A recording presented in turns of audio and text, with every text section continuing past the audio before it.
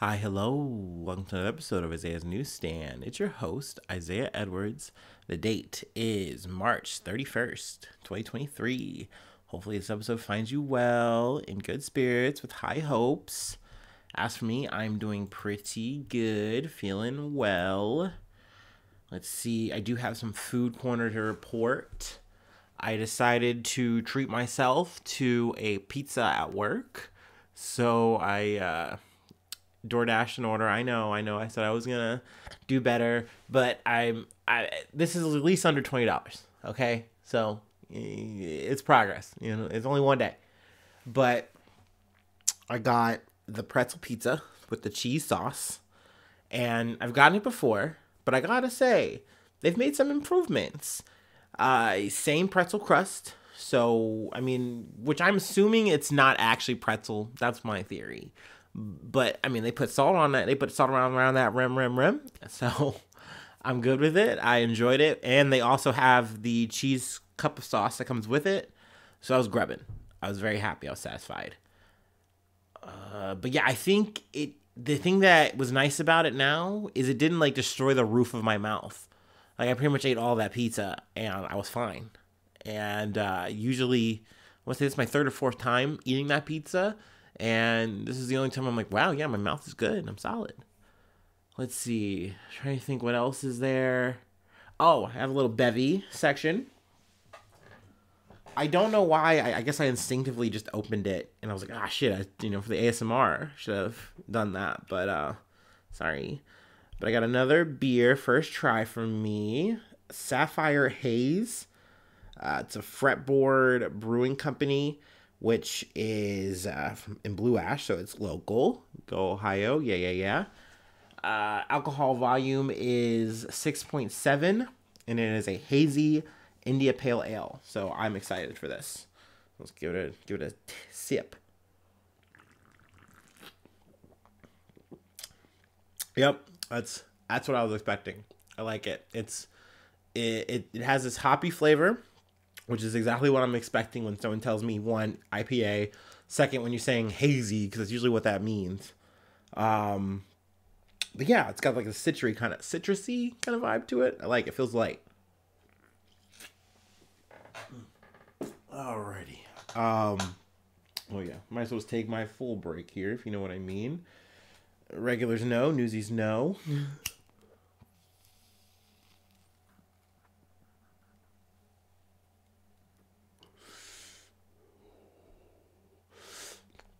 Ooh.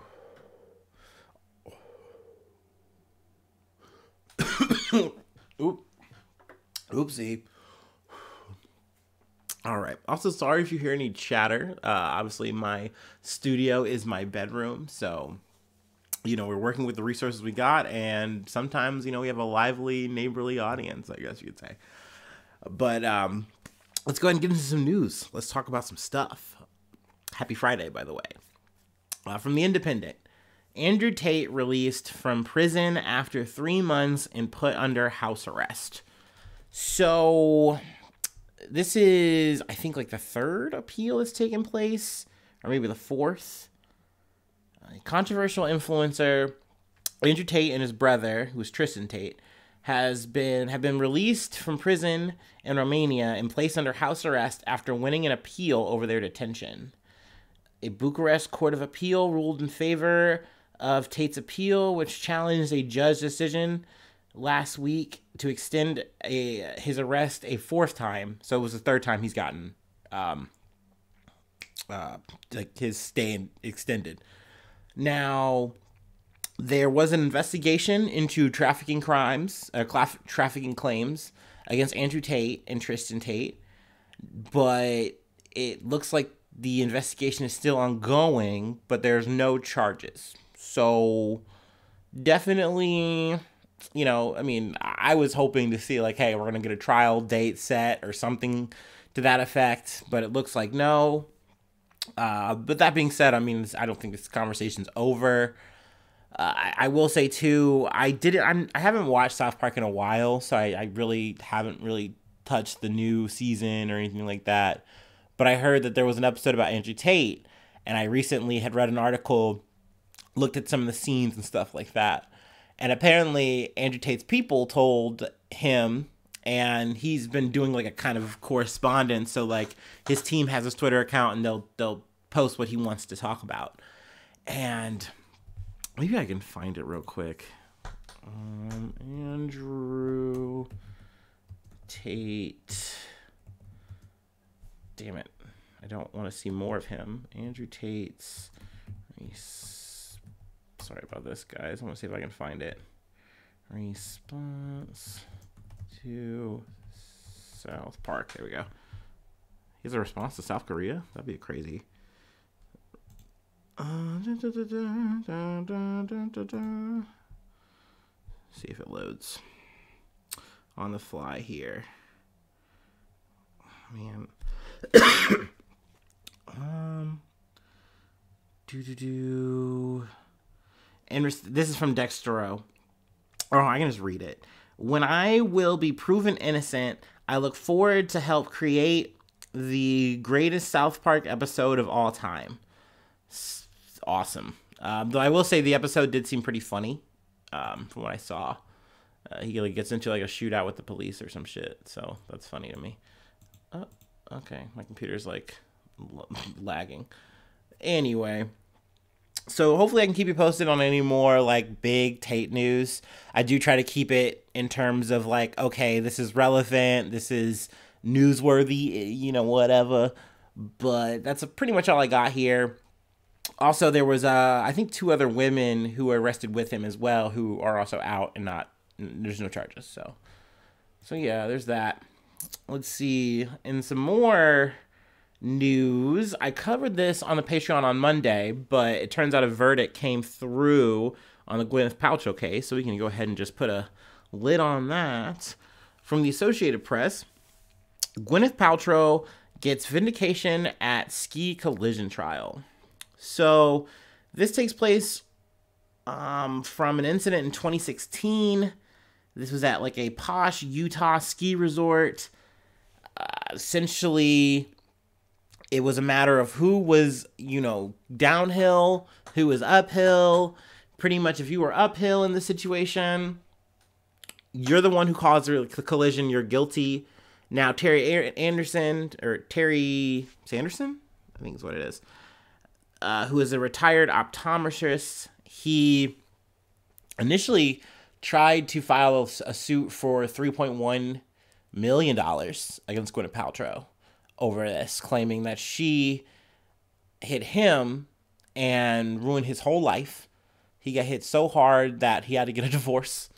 And I know it's kind of like it's like why are you laughing? You, you but you really have to see it and see this whole thing unfold. There was there's a lot said in this trial. I, I missed a lot because obviously I just wasn't able to sit down and actually watch it. But from just the stuff I've heard, it, it's it's crazy. But he had to come off of the 3.1 million. He decided to go for 300,000. Excuse me. Now, Gwyneth Paltrow countersued for a dollar and also, I believe, plus legal expenses. So essentially, her winning is just saying, hey, I just get this dollar for symbolic value. And, you know, I just want my, my legal fees paid and I'm walking out. So after she won, she was pretty classy about it. She, you know, walked over, you know, leaned in, and I, I think she said more, more or less, "I wish you well," and he said, "Thank you, dear," um, which you know, surprisingly very cold, cordial. So that's that's good. That's nice that everyone was on the up about it. I, don't know. I mean, a lot of people have a lot of opinions on who was guilty, who's not guilty. Uh, I think that uh, Gwyneth Paltrow had her kids come through and testify on her behalf. Also, there was like an expert that somehow proved that it had to have been him who hit her and then she like split her skis whereas according to him she hit him and busted his ribs up and all this stuff and like i said he was never the same never ever the same he was getting very emotional on the stand Gwyneth Paltrow, she said, "Oh, I lost like half a day of ski time," and you know that's that that's what I was out on this. Apparently, skiing is like, super important to her. Her dad used to ski, something like that. So I mean, yeah, I mean this this it, it really did feel like a a White Lotus like meets Law and Order scene, and I think people really ate this up because we just like being able to peer into a celebrity's life one way or another, especially in something like this because it's like legal court case. Oh, guilty, not guilty. Also, I think we we are you know fiending for that kind of thing this year, just because last year I, I was everyone was attentive, myself included, in the Johnny Depp Amber Heard thing. So I think this was kind of just like a treat of that. Um, but yeah, I mean that being said, I mean hopefully Terry Sanderson's doing all right. You know, hopefully he's doing okay. He's bounced back. Uh, they kind of go as far as to say that a lot of the stuff he was suffering from or going through is like, I mean, he's like a 76 year old dude. Like, you know, you just kind of you're kind of over the hill. and I'm that's not me saying that. I feel like that's more or less the picture that Paltrow's team was trying to portray. Like it's not the the crash that did this. It's not the incident that did this. It was just like him getting old. But uh yeah. I don't know. It was it definitely was an interesting case. I don't think there's too much more to cover there. But, you know, if anything pops up, of course, you know, I'll hit it up. Let's see uh, from ABC News nine dead after two Black Hawk helicopters crash in Kentucky. So this was uh, some sad news. Took place in Trigg County, Kentucky. All nine service members on board have died after two U.S. Army Black Hawk helicopters crashed during a training mission. Um, let's see.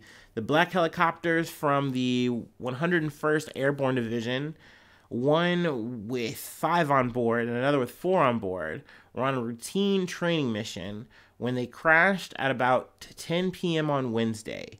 The helicopters were flying a multi ship formation under night vision goggles.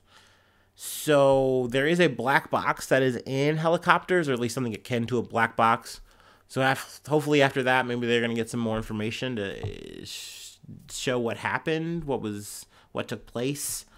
But definitely sad that there was just like just such a big loss of life like this. I think both the helicopters went down in like a wooded, semi-wooded area. No one else was hurt, so no civilians, no. I don't think there was any other damage outside of maybe some like trees or something like that. So definitely unfortunate, but glad like this wasn't eh, you know, during a busy time of day or, you know, over a busy intersection or anything like that. So, but yeah, definitely a very tragic situation for sure. And also, just it's I hate to do that. This thing that I do where I, go, I, I start like trying to connect dots. Obviously, there's no dots to really connect here, but just like like oh my gosh, there's so many trains. Like oh my gosh, like I, I, like we've covered before on the podcast, like a Black Hawk helicopter going down. It's like, oh my gosh, it's crazy.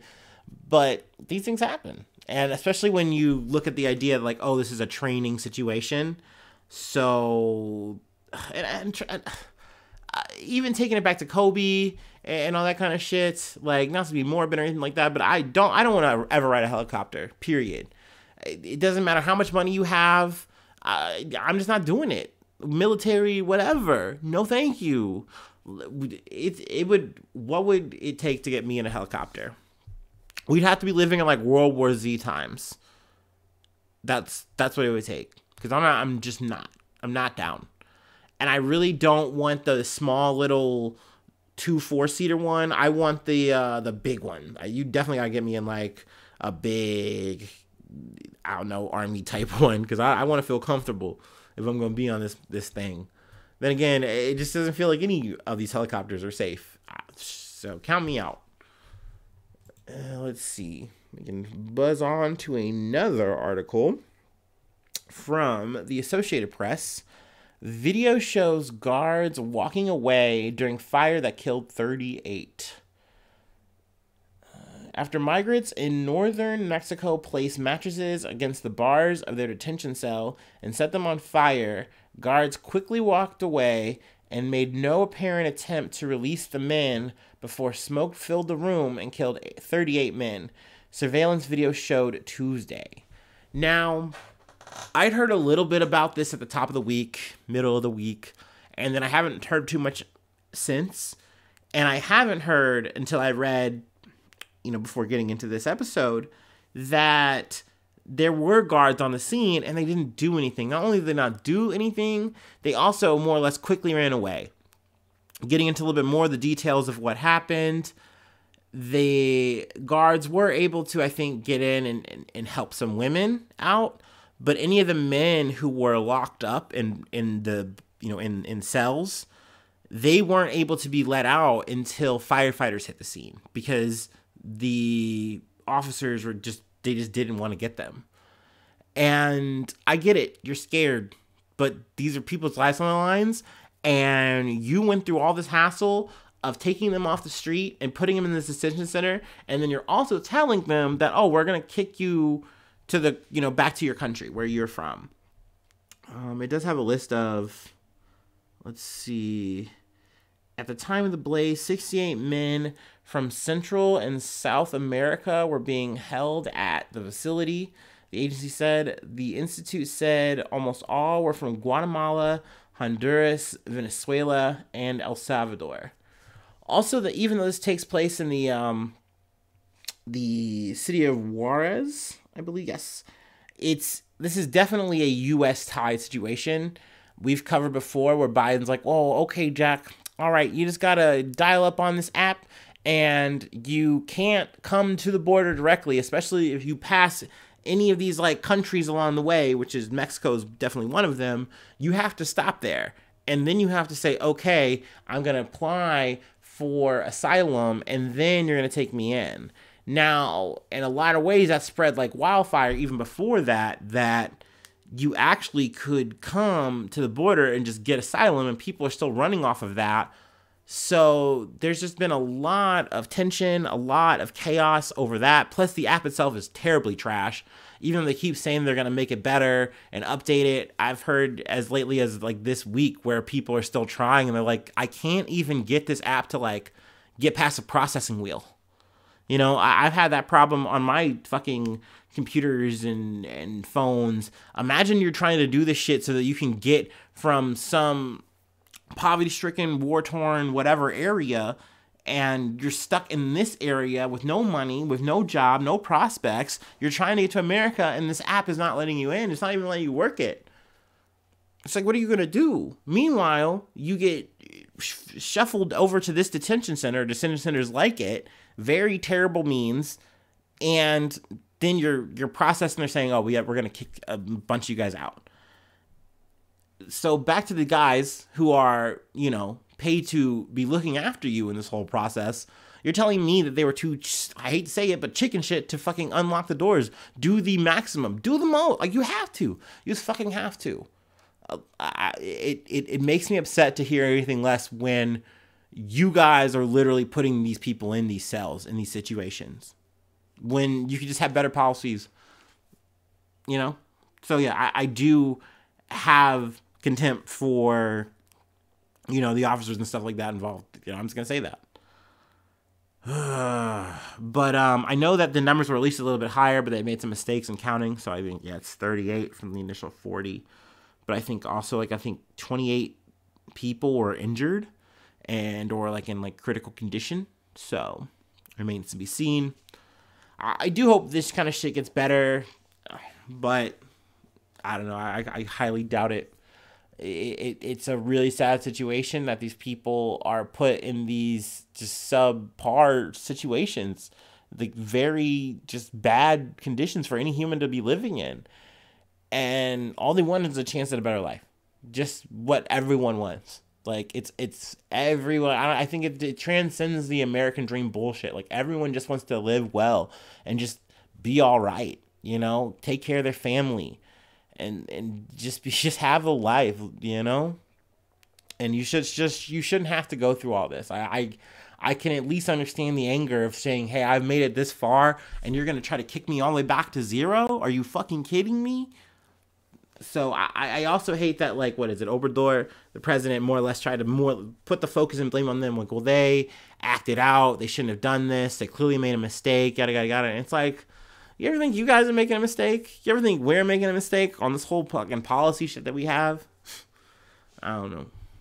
I, I, I don't I'm I, I can always talk about the shit until I'm blue in the face. I'm not gonna stop because I I think not just America but a lot of the world just has a really weird just attitude about borders and who should be in their country and who shouldn't. Because to me it's just like everyone should be in their country. Why why why why? Like you should want to be as diverse as possible. It only makes things better. But then people get like weirdly xenophobic in 2023 it's like it's crazy that that shit just never dies. I used to like learn about that in history and think it was such an old ass thing but it's like no. It's just people have this like knee-jerk reaction to be like that and it's very sad and it's very strange where it's like when you can just accept people who are different than you working with them living with them there's so much advantages to it. There's so much advantage. When people they try to go, oh no, this is the reason why there's more crime. It's like just stop, dude. And and that's and I'm using like Southern American accent, but like you can make that French, you can make that whatever accent you want, and it, you're gonna find people who are like that of every creed and color. And I hate that. I hate that mentality. All right, all right, all right. I'm I'm ripping and ranting. I got one more thing to do. Got one more article to cover before I let you guys go. My little newsies.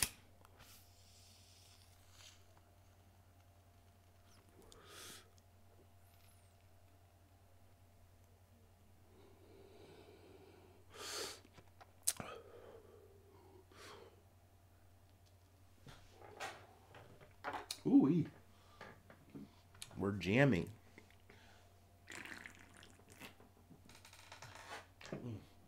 And by we, I mean my neighbors are jamming. I'm listening. From Reuters. U.S. backstops Silicon Valley Bank sale to First Citizens. So this is an update. I'd say it's a big update. I haven't talked about banks or so for about a week. Things have been kind of cooling down, which is nice. I think the last big thing we covered was Credit Suisse getting taken over. So you know, still RIP. We'll miss you. My favorite cocaine bank. But, you know, everything's seemingly well now. Um, that being said, First Citizens has definitely getting away with it. They are scooping up SVB for up to 500 million in stock. So that's like a very big deal. Like it's a steal just because what it was rated at before was in the billions, and you're just getting it for like half a billion. So that's very nice. And not to mention you're getting like a lot of like liquidity protection, I think, from like the FDIC or what have you. There's a lot of like mumbo jumbo jargon that I'm going to try to avoid here, but just giving it to you as the best layman I can do, because that's all I am. Uh, let's see. The U.S. regulators on Monday said uh, they would backstop a deal for regional lender First Citizens BancShares to acquire failed Silicon Valley Bank, triggering an estimated 20 billion hit to a government-run insurance fund. Uh, but you know, we talked how you know the government or the FDIC uh, took over for the bank in like receivership or whatever I think is what it's called but essentially none of the taxpayers are uh, involved in terms of like putting up any money, which is obviously a big deal. We're talking about bailouts and things of that nature, and no one wants that. So essentially, these are all like lending and like it's all from like a bank money pool, bank membered money pool. So essentially, it's them covering for themselves. But obviously, the fear is like if this keeps happening or it's too big, eventually it's just going to exceed that. And that's you know, it's just no good. You know, and and, and also, uh, it, it to me, and I think to some others as well, that you have to ask this: Did this even need to happen? Like, did we need to have this coverage where, you know, you made all these people who had more than two hundred fifty thousand dollars, which is what you're covered for from the FDIC.